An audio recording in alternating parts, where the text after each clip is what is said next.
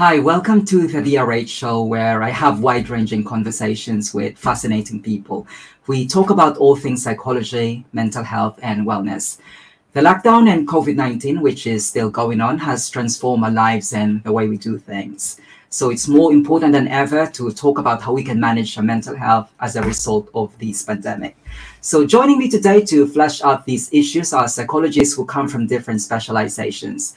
We'll also talk about the recent book that we wrote on this topic, the COVID-19 pandemic, a multidisciplinary approach to managing mental health challenges, which is published by the University Malaysia Sabah. So in alphabetical order, Dr. Amoneeta Beckstein, he's a, he is a counseling psychologist from Webster University in Thailand. Also joining me today is Dr. Paul Hutchings. He's an associate professor uh, of psychology at the University of Wales, Trinity St. David. And finally, uh, I'm also joined, joined today by Dr. Harris Shah. Um, he's a senior lecturer at the University of Malaya in Malaysia. Um, good to see you all here and thanks for joining me. Now, um, at, at, the risk of sounding impertinent, I hope I can just um, address you with your first name just to make things easy. Um, would that be fine? Yeah, that's fine with me. Absolutely, Absolutely fine. Okay, so Amoneeta, Paul, and Harris, as I've mentioned earlier, you all come from different specializations. So this really makes um, it exciting for a more nuanced conversation about mental health and COVID 19. So let's kick this off with you giving us a snapshot of your research area. Um, let's hear it first from um, Amoneeta. Yeah, uh, I am mostly interested in multicultural counseling, multicultural psychology, uh, helping kind of boost and, and uh, increase happiness among ethnic minorities and underprivileged individuals. And then uh, I have most recently gotten really into the mental health uh, effects of the COVID 19 pandemic. So that's kind of been my greater focus in the last year or so here. Thanks. Okay, thank you, Amoneeta. That's an exciting um, um, um, background, Amoneeta, and hopefully we could kind of link your background into, you know, um, talking about mental health in relation to the pandemic. Now, um, let's hear it from Paul. Um, I understand um, you're also doing a bit of research in social psychology and also political psychology. Please tell, tell us more about your um, current research um, project. I'm far more of a, a, social and political psychologist, so I tend to focus a lot upon uh, issues to do with prejudice and discrimination in particular. So, um, looking at how people view immigrants, how they view uh, issues of nationalism, both uh, at a you know at a UK level, but also um, increasingly looking at things worldwide. And so, one of the things that uh, really interested us during the um, COVID pandemic has been this idea of what we call pathogen threat. So this idea that um, you know members of an out group could be bringing a, a, pathogen, a virus into the in group, and the effect that that has on the way that people view those out group members. And so that's the the sort of broad area where we started exploring things to uh, related to COVID, really. Fascinating. And finally, Harris, um, please tell us about what you're currently working on.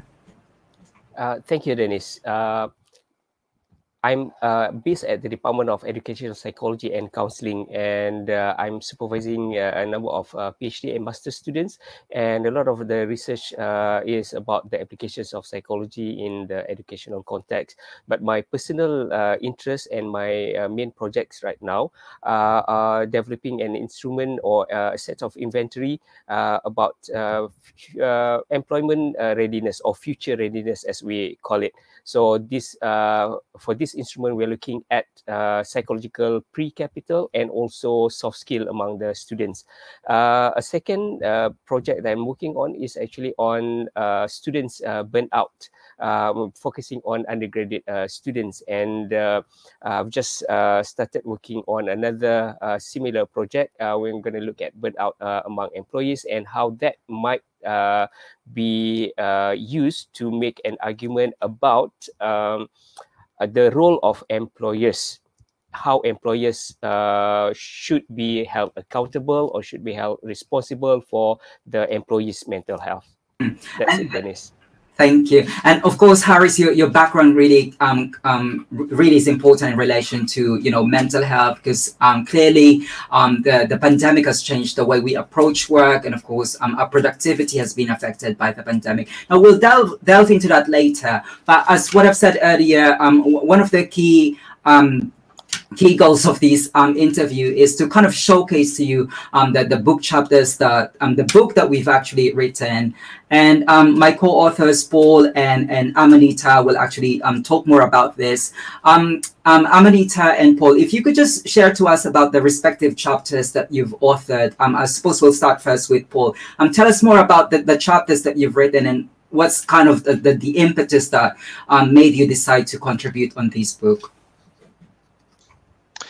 yeah, so uh, my chapter was written with um, Katie Sullivan, who was uh, the co-author of it, and she was my PhD student. She was awarded her PhD a couple of weeks ago. So um, we were writing very much from the point of view of prejudice and discrimination initially as we started writing the chapter, but as we started to to develop it and we were exploring this area of how some students uh, international students in particular have found themselves being uh, discriminated against because of their nationality. So, for instance, um, not just Chinese students, but many Asian students who, um, you know, may not have even been anywhere near China, but may, may, for instance, particularly in America, have found themselves as being, you know, born as U.S. citizens, have, um, you know, grown up in America, but nonetheless, just because of the way that they looked, were being almost blamed for bringing this virus into their community. And so, um, we were exploring things from that point of view.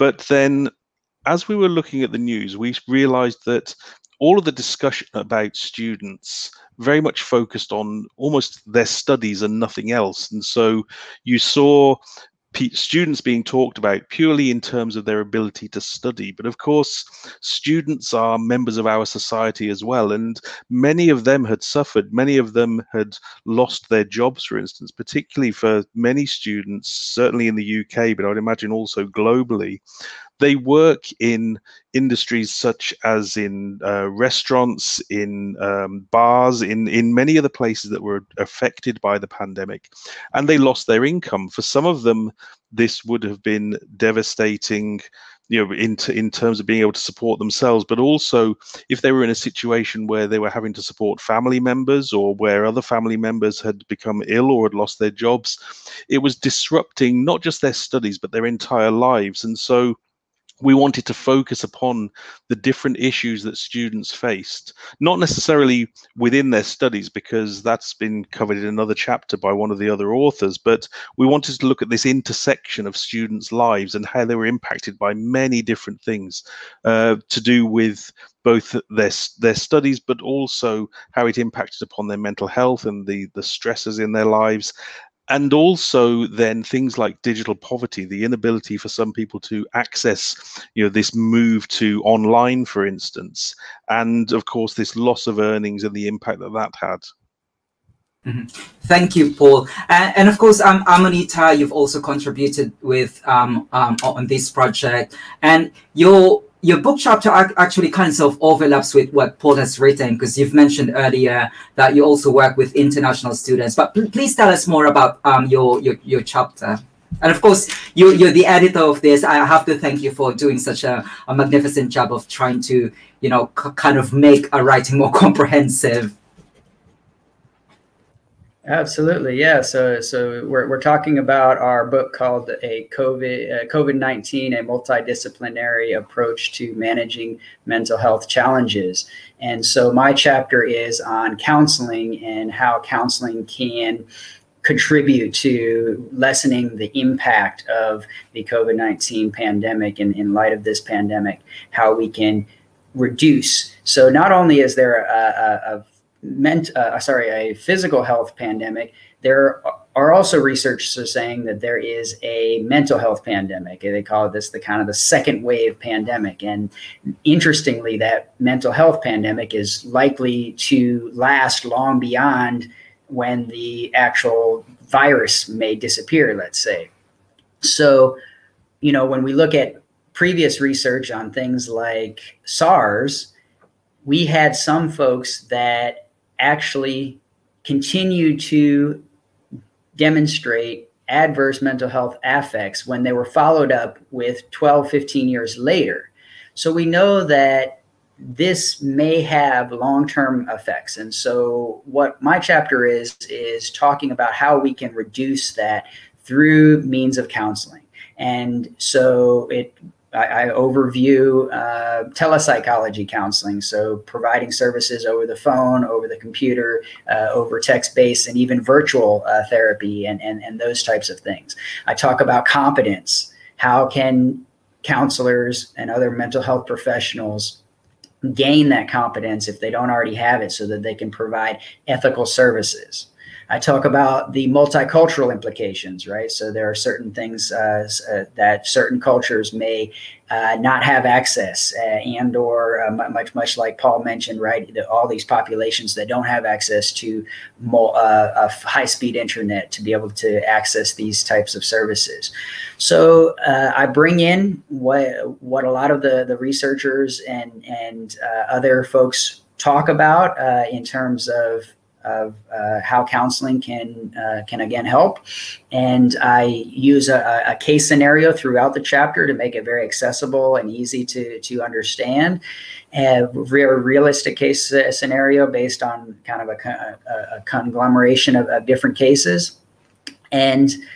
Uh, try to make it uh, again accessible for the regular uh, reader to, to read, but also to give some specific tips for mental health professionals to be able to uh, do their job kind of better during this time and, and then also some resources in order to continue to learn more. So that's a, a, a general uh, sum, I guess, of, of my chapter. Thanks. Mm-hmm. I, I, I, like that you um, emphasize that this book is actually not just meant for academics or for someone with it, working within the, the counseling um, area, but it's also something that a lot, a lot of people could relate to because you know, um, um, um, after all, we've all experienced the pandemic and we've all have mental health. Now, just because we're in the topic of, you know, how, how university students have been coping, of course, this book is not just um, predominantly about um, university students, but, you know, uh, as we can see, you're all working in the academia, but just, just, just to um, carry on the conversation, um, um, um, Harry, since you're based in Malaysia, could you just give us a sort of an overview how um, university students in Malaysia are coping um, in, in, relation to sort of, you know, the, the societal um, implications? Okay. okay. Uh, when we talk about the university students in Malaysia, I, I think it would be uh, a point to make uh, that or it, it is point that we cannot run away from to compare with the uh, primary school and secondary school students. And why is this important?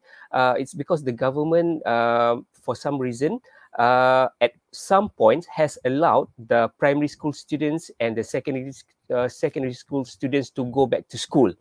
Uh, but the university students are asked to stay at home and continue their studies uh, from home. Uh, and I think this could have uh, make a difference to the experiences uh, uh, for them.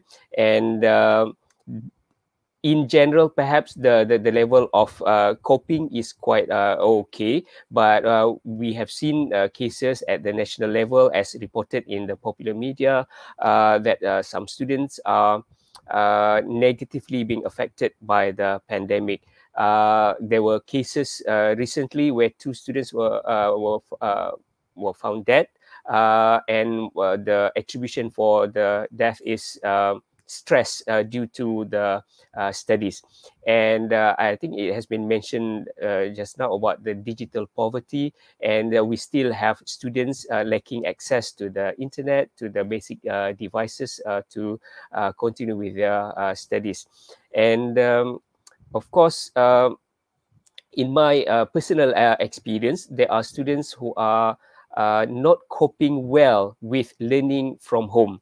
I think they are really missing the face-to-face communication, the face-to-face interactions with their uh, friends and also with their uh, uh, lecturers. Um, for example, there, there is a cohort of master's student, for example, they are now uh, uh, done with their first year and they haven't set foot at the university campus at all. So uh, they are not experiencing studies as they expected it to be. Uh, and bear in mind, these are people who decided to go back to the university after maybe uh, um, doing uh, uh, different types of uh, jobs, perhaps after their bachelor degree, and now they are doing masters, but they are not getting the experience that they uh, expect. So um, I, I, think for uh, these people, when the expectations are not met, uh, I think they are uh, not doing so well compared to other students. Absolutely. And of course, Harris, um, this um, evidence that you're sharing to us, uh, how Malaysian students are coping, these, is, these are actually shared um, experience. You know, everyone in, in, the rest of the world can actually relate to that. So I, I suppose my follow-up question to all of you, given that you're all psychologists and you're sort of um, involved within the mental health landscape, um, can you give us some tips on how we can manage the detrimental effects of lockdown in, in relation to your, you know, um, your your um, expertise. Um, let's start first with um, Paul. Can, can you give us um, from from a social psychology standpoint, um, what would you say is the sort of best way to to manage the detrimental effects of, of lockdown or uh, you know the COVID nineteen pandemic? It, it is a very difficult one because, of course, you know, um, in, with individual differences, so many people have these different ways of dealing with things, and of course, many people have um, different access and and different things in their lives, and so there's certainly, and I would I would imagine we'll probably all agree on this. There's certainly no one size fits all criteria, but I think that one of the main things is we we know through both social psychology but particularly through health psychology that there are models such as the self-regulation model and uh, these different types of module models where we need to um, you know consider the the things that that we do have for instance and the our coping strategies are extremely important. And so it's about some somehow remembering that you know the, there is this external thing which is happening to us that it's not you know it's not our fault what is happening to us and so that's an important part for being able to to deal with a lot of this in order to um, you know to to try and remain positive. I mean, in a in a way, I'm I'm talking about positivity, and the natural thing here is to hand over to Amoneeta certainly for this because this is his area, you know, far far more than it is mine. But I think you know that that certainly is some is something that uh, that I'm seeing and hoping for from my my students and the people around me certainly. Yeah. Well, thank you for, for, for the nice segue to, to Amoneeta. So, uh, from, from a counseling standpoint, um, what would you say is the best, or shall we say, I think for lack of better word, shall we say, um, that, that the optimal way of managing a mental health from a counseling perspective? Yeah, really, really good question. Thanks there. And so, first off, we know that lockdowns, kind of quarantine, should be as short as possible. We, we have a substantial re- research behind that saying we should make them uh, as short as possible to reduce the adverse effects because the adverse effects are multiple, right? We're social creatures. We need to have kind of face to face contact with people. We need to be part of a community. We want to be uh, included and, uh, and kind of have that feeling of a village effect. And uh, we also kind of long and strive and, and, need physical touch. And so these types of things are not always available in, in, in lockdown. And so trying to get those types of things met during that time uh, is, is important. Also, things like like nature is important for our physical health and, and mental health. Uh, uh, fresh air, of course, sunshine. All of these things can not only help boost our immune system, but boost our our uh, uh mental health. And so, if we can somehow get those, even in small doses, uh, you know, if, if, if, you're not allowed outside, like some people now uh, that are coming into Thailand right now are spending time in actual quarantine, meaning they're locked in the room, right? So uh, for for 14 days. So if they can go to the window to get the the uh, the uh, you know a little bit of sun or natural uh, daylight, those Zeitgebers to help regulate the sleep and and those things Yeah, uh, w- w- the, the, the, there's a, there's a quite a bit uh, that that's that, that is needed. You you all kind of alluded to uh, positive psychology, right? And so, absolutely, positive psychology can help looking at things like like hope, uh, reframing, right? If if we use terms like when the pandemic ends instead of if the pandemic ends right that kind of giving some some hope that there's going to be an end to this it kind of shifts some some of our mindset uh, we we would want to uh, talk about healthy coping so there, there's research out there that talks about using more active coping tends to have less of an impact, meaning that you actually face what's happening, you discuss it, you talk about it. Those those types of things where where you're actually actively coping with the problem rather than avoiding it, right? Through drugs, alcohol, zoning out on Netflix, and those types of things, and not actually thinking of it. Of course, you might need those breaks sometimes, right? As long as it's not becoming a, a pattern that's that, that that that's taking you away. And so there's some research also saying yes, absolutely, active coping is is better. But if you're doing kind of multiple different types of coping, sometimes maybe avoiding and then sometimes doing the, the active, then uh, that might be necessary in, in something like this that is considered a chronic, long term stressor that could also be considered a kind of a, a trauma also given the the fact that it's uh, that that it's traumatic for some people and again uh, a long term uh, uh, one other thing would be uh, the the access to uh, to people, right? Some people uh, are not getting that. Uh, so if they can do much like we're doing today, face to face, even if it's video, that's uh, going to mimic the real life face to face. That if you're not able to access people like that over kind of text based communications, right? Harris here had, had had a cat on the screen earlier, right? So maybe you can't get the, the, the physical touch with a with a human being. Maybe you can have a pet, or people can actually give themselves a, a kind of a, a, hug, right, to, to, to stimulate that that uh, that physical touch. So there is a quite a bit of things that, that we can do uh, during during quarantine uh, lockdown situations, if uh, if necessary. Again, the the, the uh, important thing would be to try to get these kind of natural uh, social and uh, and uh, kind of nature types of needs met as as much as possible given the the circumstances. Absolutely, uh, and thank you for for mentioning about those um, um, um, aspects about positive psychology, such as hope and coping. And, and of course, we also have to mention resilience. Um, as, as someone whose background um, lies within positive psychology, those things that you've mentioned, Amoneeta, really um, strongly resonates with me. Now, let's move on with Harris, because Harris, um, I understand that your, your research expertise lies within um, organizational psychology, and you've also done a bit of research about productivity. So um, as a psychologist working within that area, what would you say is that, because you know, with, with, the lockdown, um, the, the boundary between personal um, space and, and workspace as, you know, kind of overlap. Um, say, for instance, um, I, I myself, I'll cite myself as an example. Um, I'm a student and I also have a full-time job. And all, all along through the lockdown, I've just been stuck here at home. And of, co- of course, that experience not unique. A lot of people kind of, you know, try, trying to um, find what, what, where's the demarcation line between personal space and workspace. Um, what, what's your take on that, Harris?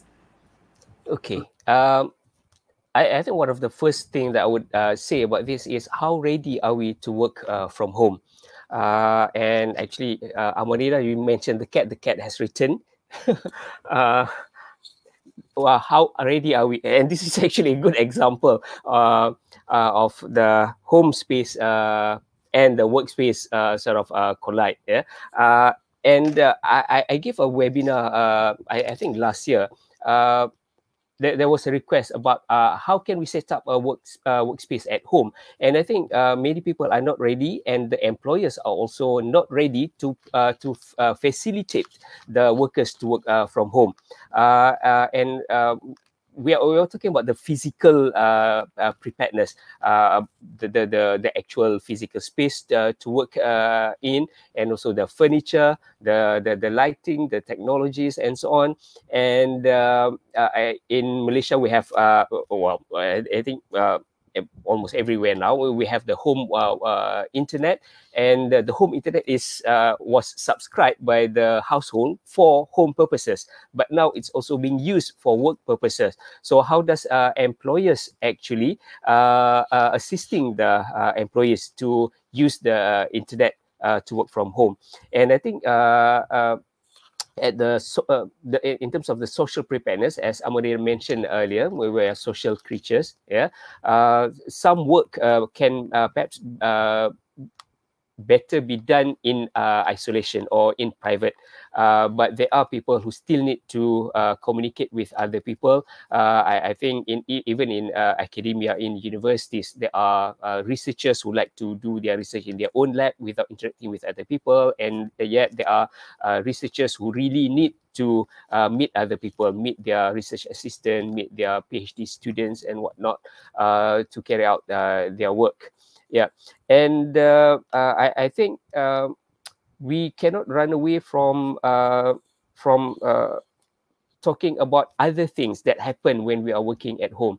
Uh, related to the previous question about the effect of lockdown and how we can manage it yeah we cannot really isolate the effect of working at home because the person working at home may also have a spouse or a partner who has been laid off so they are dealing with the aftermath of being laid off. So it's not just purely lockdown issue.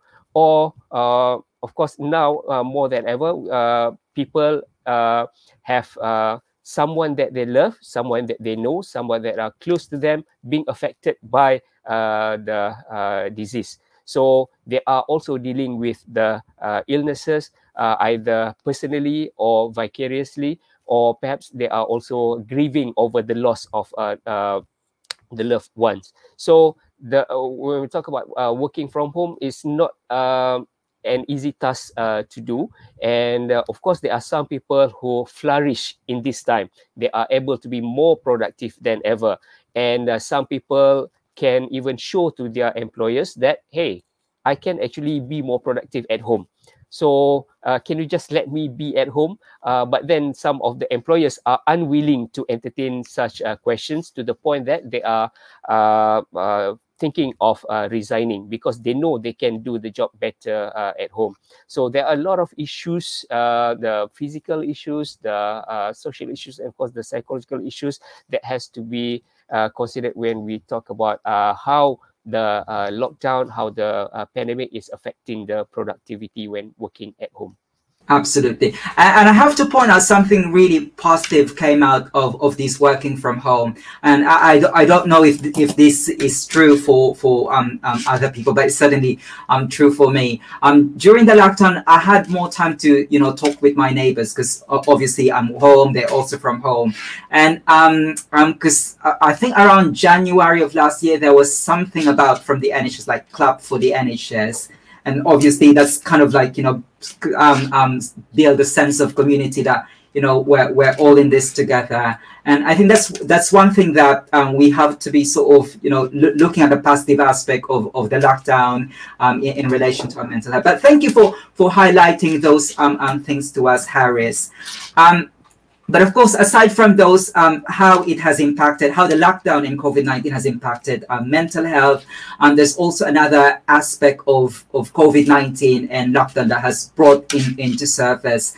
Um, one of that is um, the, the transfer of communication, particularly conspiracy theory. And I was just wondering if, if Paul, given that his background is in social psychology, if you could you know shed some light um, about um, the, the, the conspiracy theory in, in relation to COVID nineteen, or is that something you know um, which is you know remote within uh, remote from your research area? But uh, um, shares your thoughts, Paul. Yeah, so not rem- not remote. I mean, I, and I'll be the first to say that there there are some real experts on this, and so I, you know anybody who's interested in uh, the conspiracy theory side of things, not not just on COVID, but on many areas, um, you know, should probably go and read the work of um, Karen Douglas in particular and the research team at the University of Kent do some fantastic work on uh, conspiracy theories and have for many years. So I thoroughly recommend reading their work. But it is an area that we do have an interest in because, of course, you know, conspiracy theories they do become particularly prevalent at these times of crisis and. Um, they're also notoriously difficult to to deal with as well. There's there's an argument that uh, the the best way to deal with a conspiracy theory is through what we call inoculation, which is um, dealing with it before it actually occurs, and so making sure that you um, provide the correct information before the conspiracy theory starts. Once once a conspiracy theory is out there, it's actually quite a difficult thing to deal with because, of course, it's very difficult to counter a conspiracy theory because uh, anybody who tries to counter it can be accused of either being in the pay of those in the you know who are behind the conspiracy or that you aren't informed enough or that you don't have the information that they have. And so it's it's really difficult to change people's minds on conspiracy theories. And there's some really interesting research into um, why conspiracy th- theories you know, occur but also prevail so well. And it does seem that um, some people in particular have this um, you know this uh, this desire for for closure i suppose and and also um, for understanding the world. Of course you know if you think about what's happened with covid the entire world has had havoc wreaked upon it by this virus that we have no control over and that could very easily happen again, for instance. And that's a really difficult thing for us to deal with as humans because we like to have order, we like to have a sense of control over our environment. And so, by being able to explain it down to um, you know something which it, which is the machinations of um, you know some cabal which is secretly put together this virus, or that it's been produced in certain ways, it's appealing at a at a quite a base psychological level. So I think that you know conspiracy theories are hard to deal with, but I think one of the ways to deal with them is to remain calm and uh, and logical and and factual. You know, the, there is it's it's very tempting when faced with somebody believing in a conspiracy theory to throw your hands up in the air and um, you know have frustration that they may not see things your way. But the best way to, to deal with it is to discuss it factually. As an individual you're probably not going to change that person's mind but if there is a, an accumulation of people of the same opinion this may have an effect i think Another element which is also important to recognize is that not everybody who disagrees with you is a conspiracy theorist. So if we take something like the um, the vaccination issues at the moment, where there are some people who do have what are fairly well-founded concerns. If you think about the concern of whether a child, un, you know, under the age of 10, for instance, should be vaccinated, there are concerns with regards to the costs and benefits and these are the things that you know are currently being discussed by many different scientists as they as they consider this safety issue and so somebody with a concern about whether they should vaccinate their child may have a very logical concern and shouldn't necessarily be thrown into the same pot as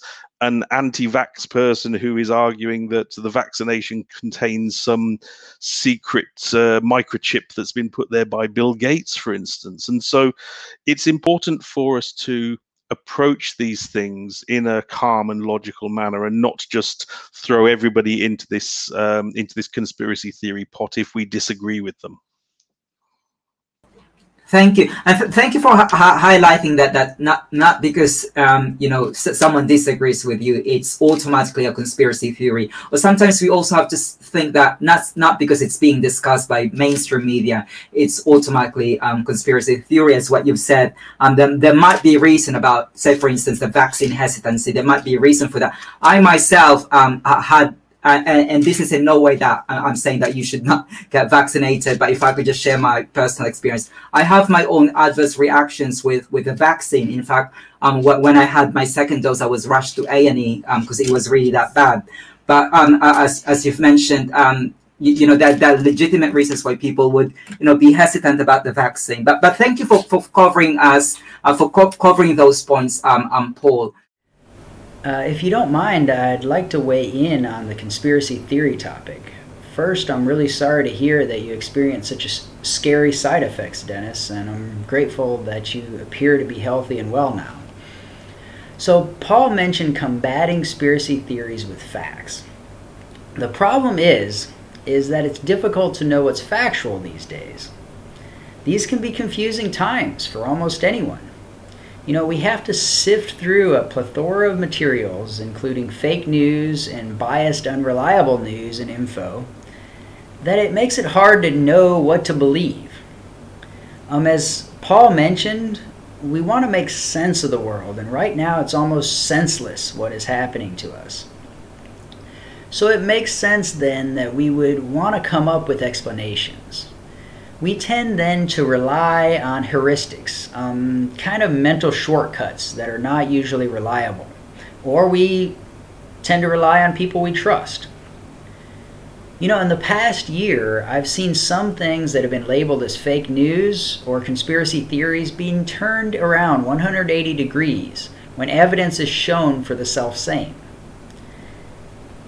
So if there's evidence for a theory, it's no longer a conspiracy theory and then becomes an actual theory. We have not always known the facts or the information that we do know changes rapidly sometimes. Even some of the experts don't always agree with each other or even contradict themselves months later. You know, you need to wear a mask, you don't need to wear a mask, you need to wear a mask. So I want to say, even if the wildest possible conspiracy theories are true, let's say that COVID is a farce and it's just a common flu. Or on the other hand, none have any merit, any truth at all. From a mental health perspective, you know, we simply don't care. We are trained not to judge and to meet the person where they are. We support them to reduce their distress, which is what we're most concerned about.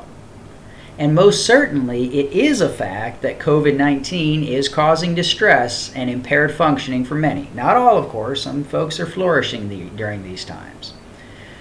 So we would be equally concerned for the person who is so distressed to the point of functional impairment because of fear of contracting the virus as we would be for the other person who is experiencing the same impairment due to fear of uh, let's say 5G.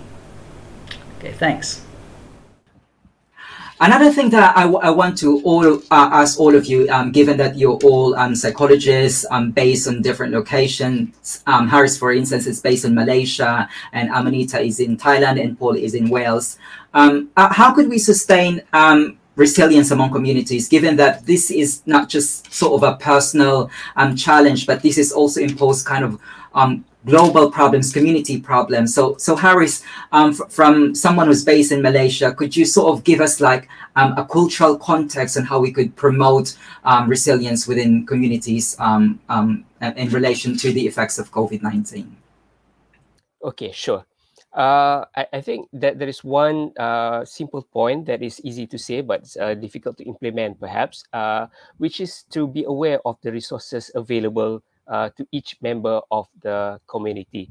Uh, recently, um, th- th- there was this uh, white flag campaign uh, which was launched to help people who are running out of food and basic uh, necessities, uh, whereby they were encouraged to uh, held up uh, a white flag in front of their house so that uh, uh, assistance can be sent immediately. But the reactions by members of the community and the political leaders are quite surprising and I, I think there is a, a, legitimate reasons why people may not be able to acknowledge uh, a particular resource uh, or source of help that is available to them. Uh, for example, some of the reactions to this is uh, uh, has been analyzed uh, from a religious point of view. what is the really what does religion say about asking for help publicly, as if you are giving up hope Uh, and also, also this issue has also been analyzed uh, from the political uh, uh perspective. What does it say about the current uh, sitting government, and what does it say about the uh, the elected members of parliament serving each each constituent? And there are a lot of um, debate going on in the social media about what the white flag campaign means. Uh, but for me, I think it it shows uh, being resilient, being able to uh, to to uh, recognize the resources available to you may not be a straightforward uh, thing. May not be a straightforward um, uh, recognition of uh, the resources because there might be stigma associated with asking for help.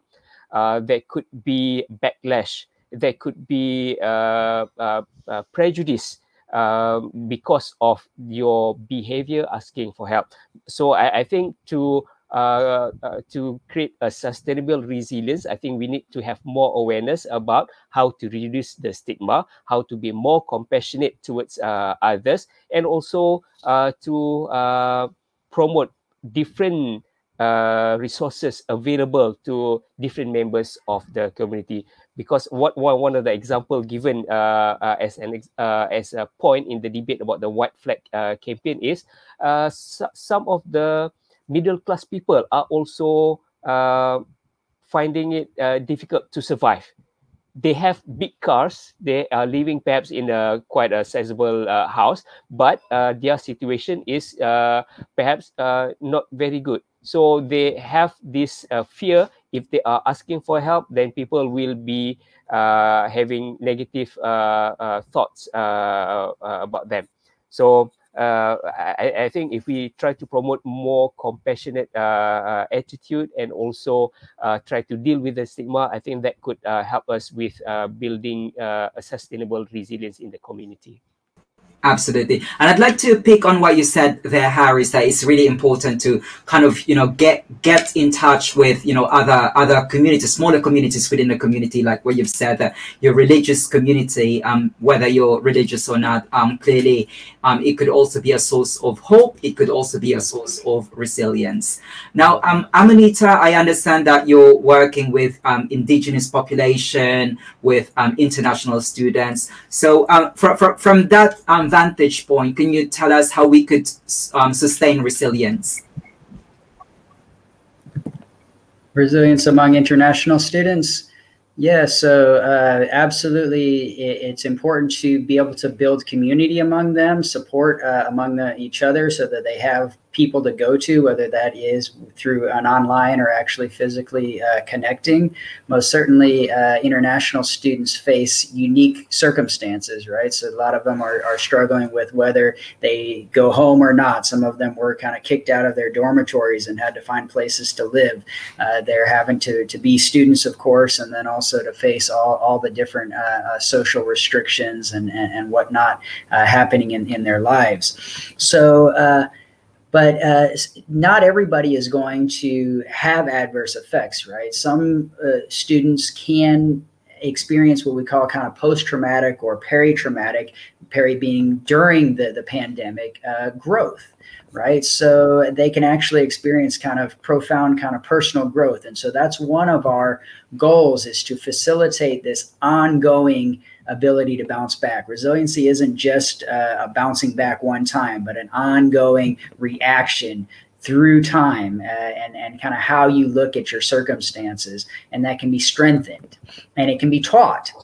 Right, we know that resiliency can be taught and practiced. So, uh, for for every anyone, including international students, we can uh, do do workshops. We can uh, uh, whether that again is online or in person. We can teach about uh, specific kind of active coping strategies that I mentioned before, right? Problem solving, emotion focused coping, these types of things that can boost that uh, resilience. Doing things like teaching people to, to be in, feel in charge, understanding, accepting the situation, kind of facing uh, uh, the, the, the situations. Those types of things can be can be useful, uh, you know, and and and somewhat like uh, like Paul was mentioning, right? We want to be able to understand the world, and so when we don't understand what's happening, that can be quite uh, distressing And so uh, sometimes just being able to do that, accepting the things that we can't change and changing the things that we can, and, and kind of being able to kind of decipher out uh, what the difference is for those things.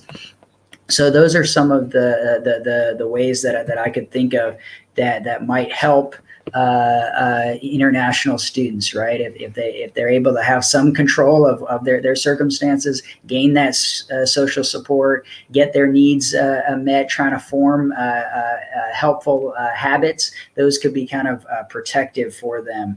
and so, yeah, and kind of normalizing the the circumstances too, right? So I, I do for example, uh, groups sometimes where, where we get together and discuss. And so that that's uh, another thing that's been recommended for international students, kind of getting together with other international students and realizing that they're they're going through a very similar type of, uh, of experience uh, that, that that others, right? Uh, for example, lots of lots of uh, international students in the states were told at, at, one point that they all had to leave because they were studying online and, and visa stipulations said that they cannot stay in you know America if they're if they're online students, and then uh, and and and so that they were kind of pulled back and forth, and then that was overturned uh, rather quickly. But then uh, lots of lots of uh, students kind of went through that that uh, distress of, of, not knowing what to do, and, and some of course had left at that time. So yeah, thanks for your question.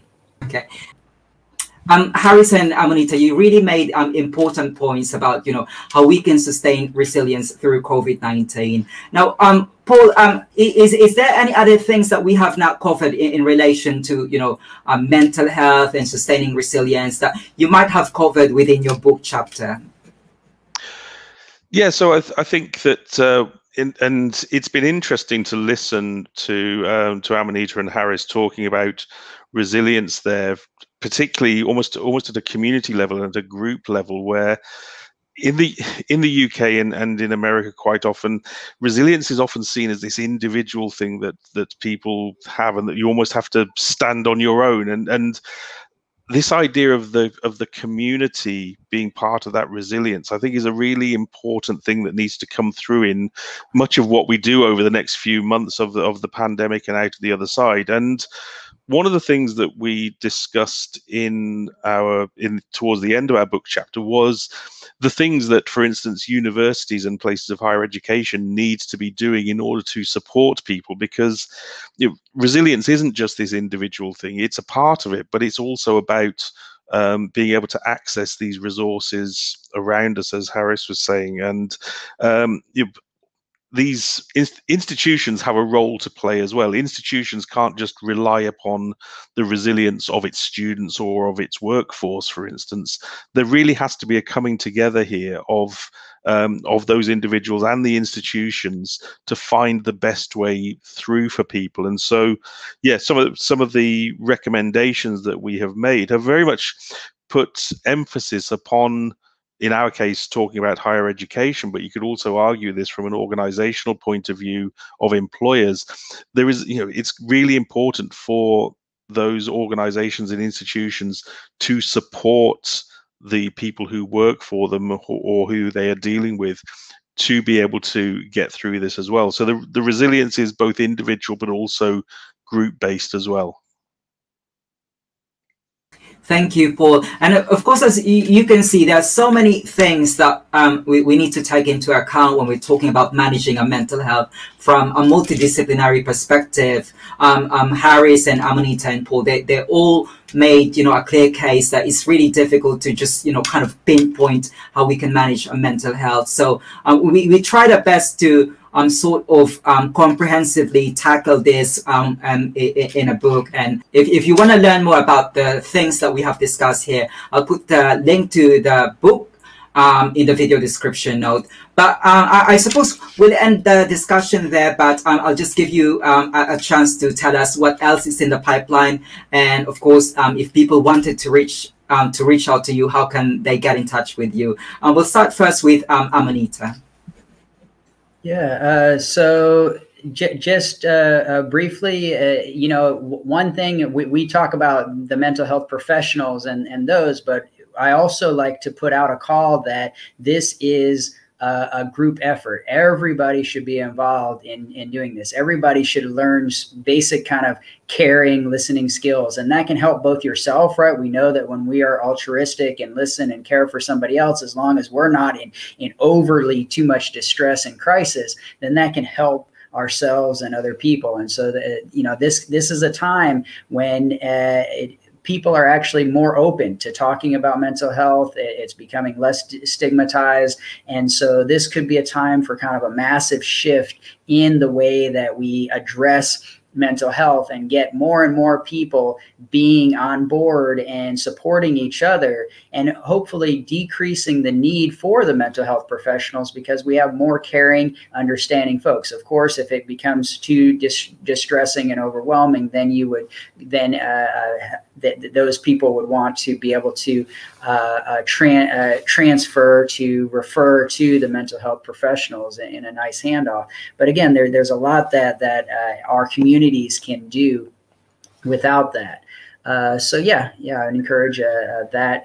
And then in terms of being able to uh, get a get a hold of me, you could look at amoneeta.com. That takes you, me you to my LinkedIn or Doctor amoneeta on Instagram. That's amoneeta.com for LinkedIn or Doctor Amoneeta on Instagram. Thank you. Thank you. I'll also put that on the video description note. Um, Harris, um, is there anything else that you'd like to share with us um, um about what we talk about? And also, how can we get in touch with you? Okay, uh, to get in touch with me, you can uh, go to my Twitter account, uh, Dr. Uh, D R H A R R I S S H A H, all one word, or you can find me on uh, Facebook. Uh, I use my real name, Harris Shah Abdul Hamid, so you can search me there. and I think in terms of what we have talked so far in this show is I think th- there is hope uh, that uh, we will be able to get through. Uh, and uh, I, I, think I, I was uh, uh, interested with a point that uh, mentioned before, and I think we can think about this maybe in another four, five years. I don't know, because some people has likened the pandemic to war and our frontliners are our soldiers and our generals and uh, whatnot uh, fighting the war.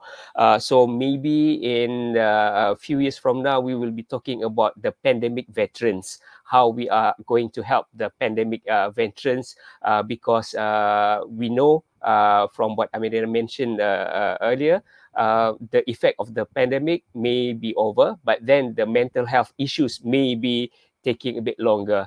So uh, that, that that could be an idea that we can explore. Absolutely. And of course, there's a lot more work for psychologists and mental health professionals on how we could actually try to minimize the impacts of lockdown and, of course, the, the other impacts that we're still not aware of. Um, and finally, um, Paul, um, final thoughts and how can we get in touch with you? Yeah, so unfortunately, uh, you know, the the prejudice and discrimination um, field is is seeing a lot to do with COVID, particularly as these barriers have been put up around countries from the virus. It's also put them up between people as well, and so we are seeing quite a lot related to prejudice and discrimination, and so we're doing a lot of research there. But it's also given us this opportunity, and this book is a prime example, but also some other research papers that we've been working on to work collaboratively right the way across the world to look at the similarities and the differences which are being faced by so many people across the world. And I think that um, you know from the research that we've done, many of the similarities are far greater than the differences when it comes to the the challenges that people are facing through this pandemic. And so the opportunities that have been afforded to us to you know to, to, do this collaborative work and to continue with with that as well i think is going to be really important. And so yes people people can um, find me just if you go to the um, university of wales trinity st david uh, website and just search for me. So if you search for paul hutchings you'll find me in the psychology department and you'll also find me on Twitter as Paul B. Hutchings. And yeah, if anyone wants to get in touch, I'd be happy to chat about anything with, with people. Thank you, Paul. And um, yes, um, thank you for highlighting to us the importance of, of collaboration. And actually, I think that's one of the um, aims of these books to, to showcase, um, you know, how people from different different specializations could work together to to present, you know, ways on how we could manage um, a mental health in, in, relation to lockdown and COVID nineteen. Well, thank you for your time, um, Harris, Amoneeta, and and Paul. it's been lovely chatting with you, and thank you for sharing to us your your time and your expertise and also talking about the, the book chapter that you wrote, um, Monita and Paul. And Harris, of course, thank you for sharing to us um, your, your your research area. Um, but unfortunately, um, we ran out of time. Um, but um, so we'll just leave it there. Um, th thank you, and um, I look forward to hearing more about your work.